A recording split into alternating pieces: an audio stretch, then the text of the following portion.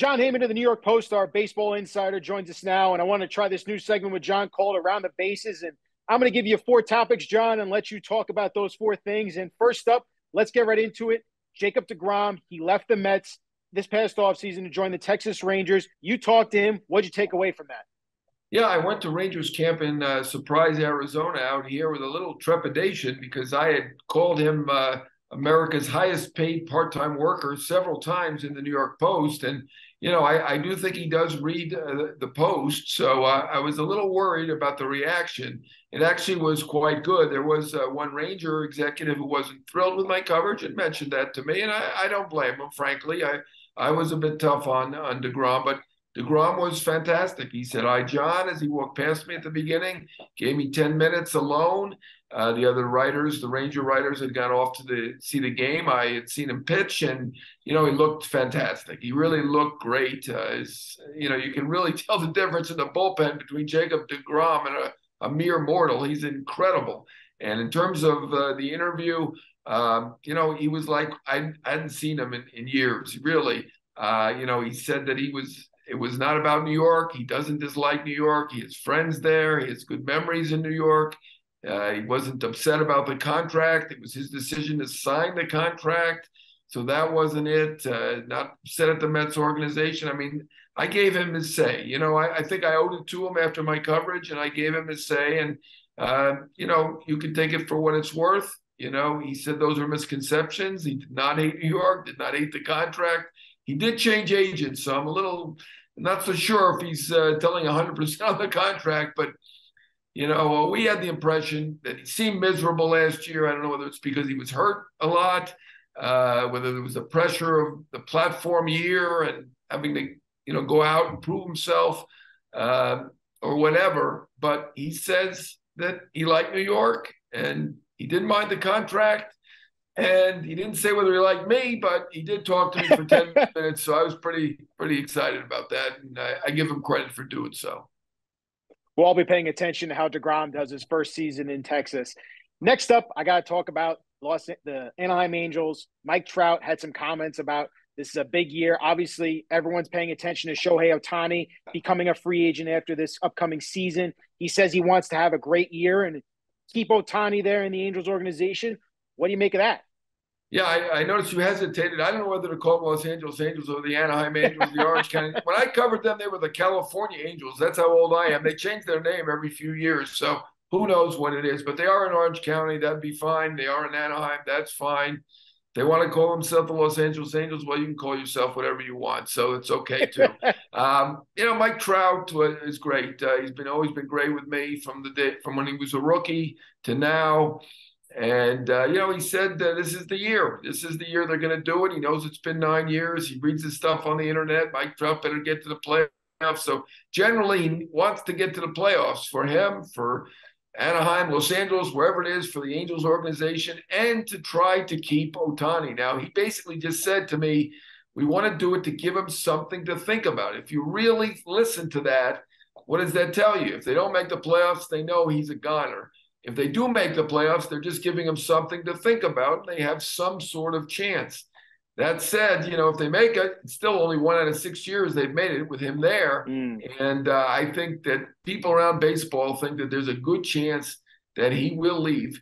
He does seem to have that West Coast preference based on five of the seven finalists from five years ago on the West Coast. The other two were the Cubs and the Rangers, none on the East Coast he told the Yankees flat out, and he didn't see himself in New York. Now, that was five years ago. His handlers are going to say, you know, that's a long time ago. He's had his chance to go around baseball. He'll consider it.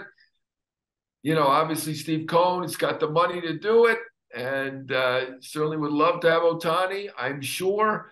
Uh, I think being out here, I do think the Dodgers did cut uh, 30, 40 million out of their payroll. They clearly have the wherewithal to do it. They're a perennially winning team. They're only 45 miles away from Anaheim or Orange County, whatever you want to call it.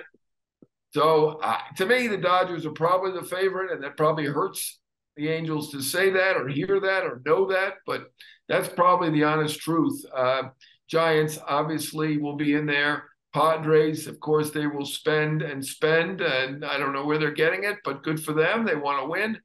And I mean, those are the main teams to me: the Giants, Angels, Padres, Mets. You'll see others in there too. Mariners, probably the Rangers. They like to spend as well. Uh, you know, who wouldn't be interested in him? He is the best player in the game. Quite possibly the biggest free agent in baseball history that we're going to see this upcoming offseason. And we're going to see probably a record setting contract with Ohtani. Going to third, and I got to ask you, speaking out there on the West Coast, the Dodgers took a huge blow when Gavin Lux tore his ACL. Uh, the, the Padres aren't going anywhere, obviously, Jon. Are you concerned about the Dodgers? And obviously, they lost Trey Turner, but are you concerned about them this upcoming season? I am, and you know it's somewhat about shortstop. And Gavin Lux, it's a big blow for him personally. He was slated to be the starting shortstop to take over for Trey Turner. I think he's a very good offensive player. I think he would be solid defensively. Uh, the Dodgers did have the foresight uh, to bring in Miguel Rojas, who was a very good defensive player with the Mar- Marlins he'd been. And, you know, he's not going to play the WBC now. He's going to prepare to be a starter for the Dodgers. They have Chris Taylor there to back up, and they like him as a shortstop as well. Does not appear they're going to go outside. Now, we'll see. I could be proven wrong. Not a lot left. There's Jose Iglesias left. It sounds like they're probably going to go with the Rojas and Taylor. They did sign Bregman, a longtime minor leaguer, as another backup. Uh, it's certainly a blow. The bigger question, the bigger issue for me with the Dodgers, obviously they lost a lot of players, Turner and Tyler Anderson and Justin Turner, two Turners, all over the field. They lost they lost 10 guys. And uh, you know, they're now projected to win 96 games, which is still a very good team. And you know, I think that's a little strong. I think they're very good.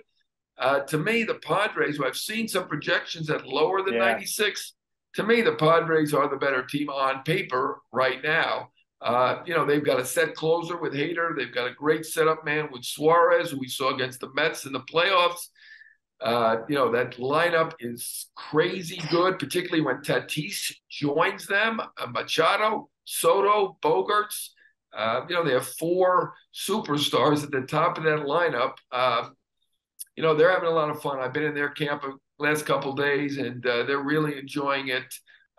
Soto at least until today, barely made an out. He really looks locked in already.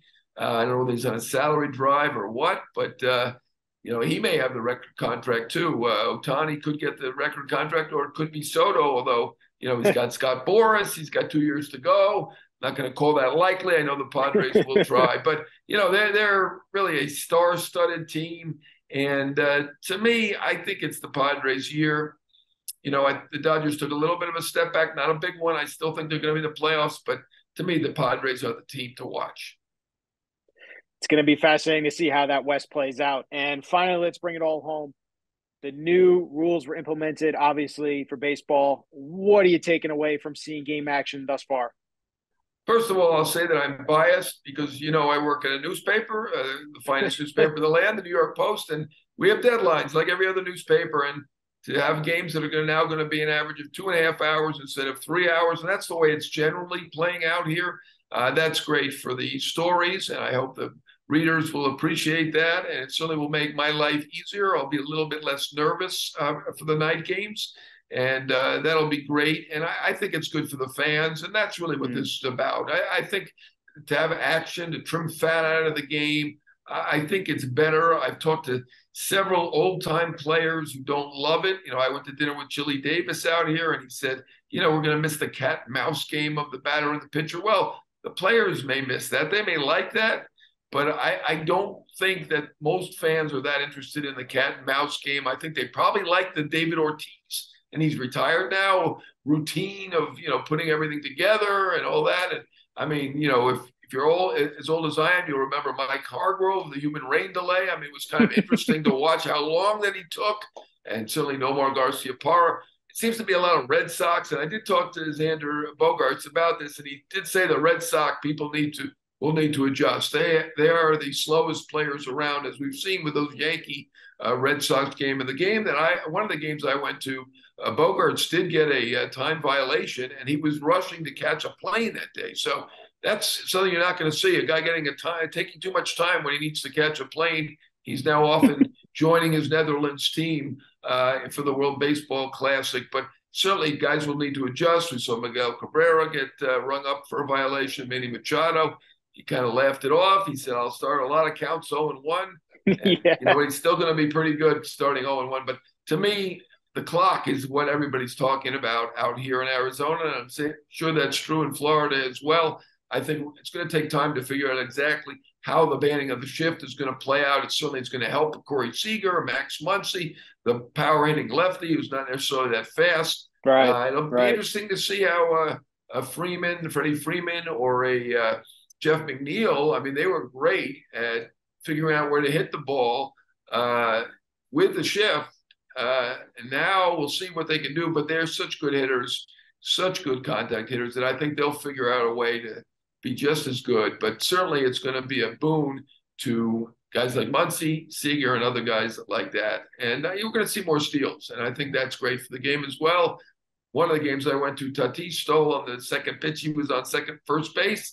And, uh, you know, it's interesting that he's playing when he's under suspension, but I guess they want him to be healthy when he does is able to come back and play. And uh, you know, I think the game's going to be more exciting. It's going to be faster paced, and it's going to be better for us at the newspaper. Yeah, and I think, like you said, it's it keeps you on the edge of your seat a little bit more because you're paying attention and the, you know the ball is going to get pitched and it, and more actions happening in these games.